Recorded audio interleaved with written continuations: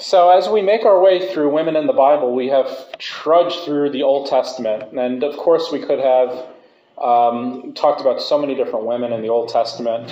We missed a lot of the what we call the matriarchs, like Hagar and Sarah and uh, and Rebecca. We really didn't go into those characters because you know they, they seem to be major characters, and I'm trying to hit more thematic uh, elements as well as women you may not have heard about. And today we're starting with the Gospels, primarily the disciples of Jesus. The disciples of Jesus. Women disciples of Jesus, those who follow Jesus. Now, if you, let's go ahead and read uh, Luke 8, 1 through 3, and we're going to talk about some of the disciples and the 12, and uh, talk a little bit about discipleship, and, and then we'll go into specific characters. So, Luke chapter 8, verses 1 through 3. Soon afterwards, he, that being Jesus, went on through cities and villages proclaiming and bringing the good news of the kingdom of God. The twelve were with him, as well as some women who had been cured of evil spirits and infirmities Mary, called Magdalene, from whom seven demons had gone out, and Joanna, the wife of Herod's steward Chuza, and Susanna, and many others who provided for them out of their resources.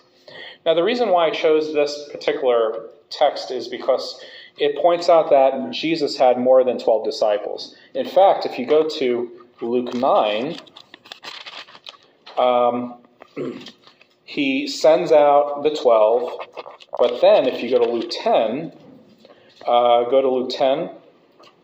Uh, Luke 10, verse 1. After this, the Lord appointed 70 others and sent them out, uh, sent them on ahead of him in pairs in every town. I have a footnote here.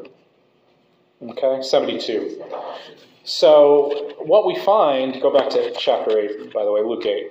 So, what we find is that Jesus' disciples, there are more than 12, but we know that the 12 are an important feature in Jesus in Jesus' movement because it really embodies and portrays the restoration of the 12 tribes of Israel. So we believe that Jesus called 12 disciples to model the restoration of those tribes. However, Jesus had a lot of followers. Many of them were women. What makes this particular passage unique are the verbs used to describe the women. Okay? First, we have Mary Magdalene.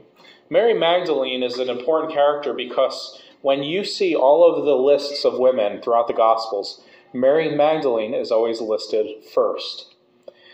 As I mentioned to you, names in the Bible matter. And when someone is listed first or someone is recognized first, that elevates that person to a, a position of honor or a position of power. For instance, it's Priscilla and Aquila. Priscilla is listed first in that couple because we believe that Priscilla and Aquila, Priscilla being the leader of the, the church and, and Aquila, or them being a team, but Priscilla having authority. And uh, other than the introduction of Aquila and Priscilla in Acts 18, every time Priscilla and Aquila are mentioned, Priscilla's name come first, came first, comes first. We also see in that what we call the household codes in Ephesians, Ephesians especially, Paul will say something like, Y'all need to submit to one another. Wives, submit to your husbands. He addresses wives first and lifts them up by doing so. And then he says, Husbands, honor your wives. So he, it's an equalizer, not a subservient. He doesn't put women in a subservient position. He makes them equal. Y'all, y'all submit to one another. So the listing of names and whoever comes first is really important. That's why we have name me three disciples off the bat.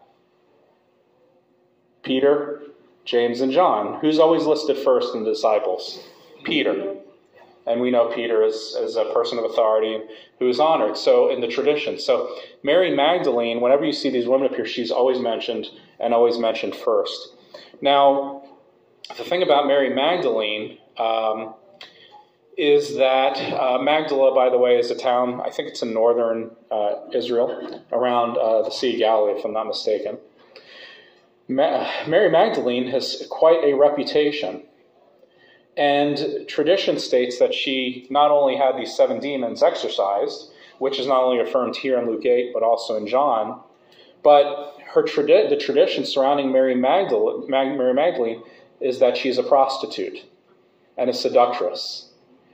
But when you read the Bible, there is no evidence whatsoever that she was either a prostitute or a seductress. The most likely tradition of that was when that came along in the 6th or 7th century, when Gregory the Great, who was a bishop of the Catholic Church, was rising to power. And if we can read through the agenda, was that Mary Magdalene competed with Peter for an honorable place among the saints, because these is when the, the saints started to become popular, when the Catholic Church started to consolidate power in the 6th through the 8th centuries, Gregory the Great, consolidated power of the Pope. Okay? So if you think about the Catholic Church or the Church before the 6th century, there was no one Pope. It was a result of a consolidation of power by Gregory the Great. And if you're the Pope and you're consolidating power, I want you to think through this. As a Pope, you're going to consolidate power by saying, I, I alone, I am the Pope of Rome, and I alone am, have, a, have a clear line to Peter. So what you're going to do is you're going to elevate Peter, and you're going to start to dismantle the saints who compete with Peter, one of whom is Mary Magdalene. In the Greek Orthodox Church, or in the Greek Church in the East, Mary Magdalene was considered not only a saint down the road, but also an apostle. And so the Pope and the Catholic Church said, we can't have this. So what they started to do is they started to build a narrative that Mary Magdalene was a prostitute and a seductress. And then it was replicated within pop culture, like movies like The Last Temptation of Christ, um, a lot of pop culture surrounding whether or not she was married to Jesus. You know, if you remember your 60s and 1960s and 70s, kind of like, you know, kind of pop culture, you know, uh, news weeks that would come out on Easter. So a lot of the, um, a lot of this tradition surrounding Mary Magdalene is more a result of the of the of the Catholic Church and tradition than the truth of Scripture. So Mary Magdalene is actually a pretty honored person in Scripture. In all four Gospels, she's always listed, and she's always listed first. The second thing that is important here is I want to turn your attention to the um, to the other two women, Joanna, the wife of Herod's steward Chuza, and Susanna. We don't know much about Susanna, but what we do know is that Mary Magdalene, Susanna, and Joanna, especially Mary Magdalene, unlike tradition, actually presents her as a benefactor of Jesus. If anything, she wasn't a prostitute or a seductress. She was probably a very powerful, noble woman who hung out with ladies like Joanna, who would have been a part of the uh, nobility of Herod's uh, administration. Okay? And they were so honored in their community that they had resources that provided for the Jesus movement. I'm using that word very, uh, by the way, very scholarly Jesus movement, just to tell you it's not Jesus, it's the entire movement. He had to fund Jesus, and the keeper of the till was who, by the way? Judas, yeah, thank you you know, this entire movement needed funding. Okay, um, this uh, this messianic movement, and it was these women, very powerful women, who provided uh, resources for this movement. Now, the other word that I want to turn your attention to uh, in verse three, um, it says Mary Magdalene, Joanna, Susanna, and many others who provided for them. Does anybody have a different word for provided for them? Does anybody have, what is supported?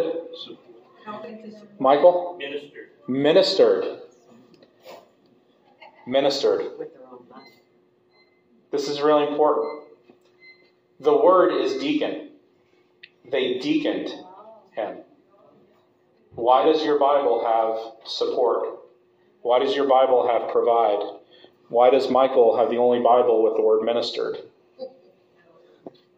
Because the English, again, a tradition of English bias in the translation. This is a word that we translate deacon. They deacon, they were, these are the earliest deacons. Okay? By the way, you don't see anybody laying hands on them. They're deacons because of what they do. They're ministering in the movement. Yes, ma'am. But how is some of the churches females are not allowed to become deacons? I'm. Uh, that would take us a long time to explain tonight, but uh, but I can can tell you later. Um, but uh, but again, the, the biblical evidence. It's a good question, Diana. It's it is a good question. I don't want to make light of it. It's just it would take us off track because when we go through this Bible, the Bible study of women in the Bible, we see the importance of women as in, as in their place in the in the church. Yeah, but you know there are other traditions that that think differently. So uh, so it would be a kind of a conversation of more of Baptist history and heritage, and I'm afraid I would bore you. Huh. We can do it another time, but. But I'd rather let the Bible, rather than my Baptist heritage, speak for itself. And that's the important thing. This is not a Baptist reading of Scripture. It's not a cooperative Baptist reading of Scripture or a Southern Baptist reading of Scripture. This is a reading of Scripture. And the word is deacon. They deaconed, they ministered. The word is minister to Jesus out of their own resources. So not only are these women benefactors, okay, to be honored and to take that place, but they're also in that role of ministry and deaconing. Okay? Deaconing as a, as a verb. That's in your notes. And they become models because, and I want you to understand this, uh, it's a little bit kind of heady, but very important. Luke, by the way, Luke wrote the Gospel of Luke and the book of Acts. And if you read Luke chapter 1 and Acts chapter 1, he is writing to Theophilus, who we believe is a very um, wealthy person. And what we believe when we read Luke and Acts is that Luke is trying to inspire and encourage Theophilus to become a supporter of the church. And there's a lot more in Luke and Acts that play a part in the language of, of how Luke is trying to inspire and uh, encourage Theophilus to invest in this movement called uh, of, of Jesus' messiahship. And very effectively, by the way. Of course, you have Luke and Acts. If you do Acts, that's where the big inspiration comes. You know, where, where do you sit, Theophilus? Are you going to support this movement or not? There's Paul hanging out in Rome by Acts chapter 28. We don't know how the story ends, but if you write that check, Paul has a better chance. Okay?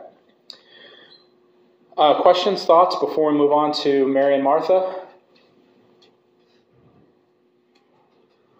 All right. Uh, anybody else know another benefactor, wealthy woman who also is a described as a deacon? Anybody trivia, Bible trivia in the Bible outside of Luke and Acts? She's described as a deacon. In fact, the word deacon ascribed to her is the male word for deacon. It's not deaconess, it's deacon. Phoebe, in Romans chapter 16. He says, uh, Paul says, um, and uh, please welcome Phoebe, who is a deacon, and not only a deacon, but honor her as a patron, as a benefactor of the church, who has provided for us. So Phoebe is another minister deacon. And then we have, of course, Priscilla and Aquila. Priscilla is named first in their house church. And then if you read through Romans 16, there are about six to eight other women who are hosting churches in their home. All right. so, Luke 10, 38 through 42, and then we'll wrap up. Uh, this is Jesus with Mary and Martha. You know Mary and Martha because Jesus was good friends with Mary and Martha and their brother Lazarus. If you go to John 11, Lazarus, of course, dies. There's the resurrection of Lazarus. You know Jesus' intimacy because of the very frank conversations that Mary and Martha have with Jesus. They're not afraid to speak what's on their mind, nor does Jesus silence them. Okay? And Lazarus, when he dies, even though Jesus knows the end of the story, weeps at the loss of his friend because he stands with us in the midst of our own grief. Even though we know the resurrection of the dead at the final days, Jesus still weeps with us when we weep.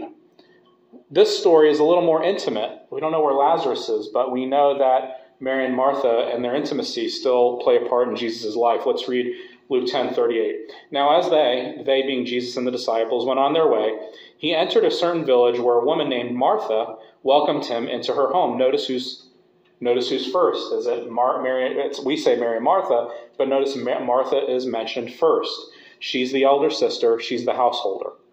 Okay? It says that Martha welcomed him.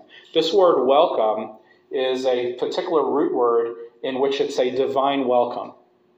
So there are two words for welcome. One is just welcoming someone, hey, welcome. And then there's another word for welcome in which you invite someone as you would invite uh, and provide hospitality as if entertaining angels unawares.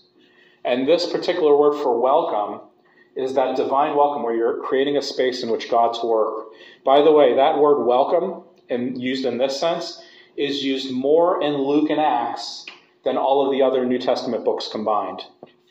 Because Luke is trying to create a Theophilus, he's trying to convince Theophilus to create a welcoming space in which Theophilus is going to invest in the church and create that divine space where God shows up through Jesus Christ. So this word, when, when Martha welcomes Jesus, it's a it's an opening up of a space where divine things, where, where the Spirit moves. Verse 39. She had a sister named Mary who sat at the Lord's feet and listened to what he was saying. This is controversial. In the ancient world, no woman would sit at a rabbi's feet. In fact, the woman would should have been with Martha, Mary should have been with Martha, providing and doing the domestic work of providing a meal. Martha complains about this later, but for now I want to I want to just see what Mary is doing. She is at the feet of a rabbi, very controversial, because the only place, the only person who should sit at the foot of a rabbi is a male pupil. It is unheard of for a female to take the place of a male pupil at the foot of a rabbi. So, what is Luke showing here? Luke is showing here that women can have a place as a disciple, as a pupil of Jesus, that men who who are only allowed to sit at the feet of a rabbi, that no longer applies in the in the Christian church. And again, we see this over and over again as the Holy Spirit empowers the church of women becoming equal and par- partners and participants in the kingdom of God. And Mary is just an embodiment of taking the place of what was reserved for a male pupil. That's why, by the way, that's why Martha complains. It's, Martha didn't complain because she had a lot of stuff to do. Martha complained because her sister was doing something that no woman should do. It was disrespectful, according from Martha's point of view. But listen to Jesus. controversial? Because only a man would be allowed to sit at the feet of a rabbi to listen to instruction. Yeah. And Martha picks up on it. So, verse 40 Martha was uh, distracted by her many tasks. So she came to him and asked, Lord, do you not care that my sister has left me to do all the work by myself? Tell her then to help me. Notice she doesn't speak to her sister directly because she thinks her sister is being disrespectful. She's telling Jesus to talk to her sister. She's not speaking directly to her sister because her sister is the youngest sister. She the sister Mary should already know what she's doing. Okay. Uh, let's see. Um, it is, isn't it? Verse 41. But the Lord answered her, Martha, Martha, Martha, Martha. Uh, the double the double word is a term of compassion, not of anger. He's not saying Martha, Martha. He's saying Martha, Martha. You're worried and distracted by so many things. The, the word for distracted is being a busybody. You're, you're being a busybody. You're restless. My father would say you have ants in your pants. You're worried and distracted by so many things. There is need of only one thing. And Mary has chosen the good part. Does anybody have better? Better part? Yes. Scratch it out, put good. The word is good, not better. Why would it be better? The reason why your English translation has better is because the church tradition has said that Mary is better than Martha. Because Mary is listening to Jesus and Mary is, is, is doing Jesus. And interpreters, preachers over the years, primarily Catholic again, okay, the English tradition, stated that Mary is better. One, because she's listening to Jesus. Two, because she doesn't complain. And three, because she's silent. That's a tough It's because she's quiet. She doesn't complain. And so your English translation picks up on the English bias that was that goes back. I'm not sure what the King James version says. It say good or better, Mitzi? Good. So the King James version has it correct. Good. Go with the King James. Mine says right choice. The right choice is, is well, that's that's misleading too. Now, the good part, the good portion, the part, the word part means portion of bread. So I want to read it literally for you. Mar- Mary, Mary, there's only need of one more thing. Mary has chosen the good portion of bread. What is he referring himself to? As the bread of life. What is Mar- Martha doing? She's baking bread. She's making food. And what he's saying is that you're making food to satisfy our hunger. But Mary has chosen the good bread, the good portion of bread. The word portion is, is bread. Not bread literally, but it points to a portion or measure of food. And so she's, he's saying that I am the bread of life. My teaching is what provides nourishment. And she has chosen a good portion, not a better portion, a good portion, which will not be taken away from her. Notice he doesn't, what he's doing is he's, he's not saying Mary's better than you or Mary chose a better portion. What he's saying is you need to choose. You can provide hospitality, you can sit at my feet, but the point is choose. And what you're seeing is that her hospitality is necessary for the nourishment of the movement, but you have to balance the Martha in your life, which is always go, go, go, with the Mary in your life. One is not better than the other. They both have an equal place, and some of y'all favor Martha more than Mary. Okay? And I doubt any of you are lazy enough to favor Mary over Martha. Because my, my, my guess is that you're busier than you should be, right?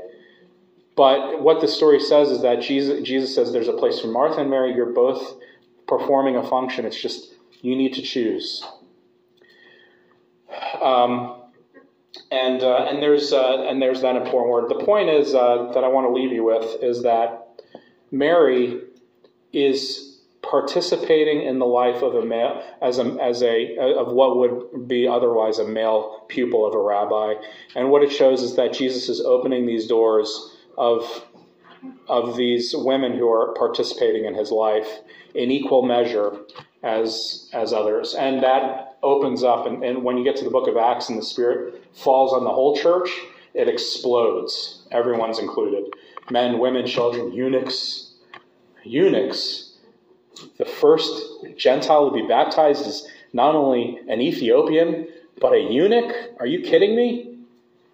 And then, not to make matter, not to make it worse, two chapters later, Cornelius, a centurion, the enemy of our people, is now a believer. Really, Peter? Come on now.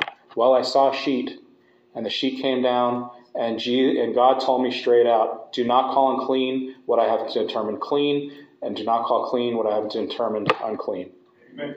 And the whole church explodes until we get to the Catholic Church by the third century.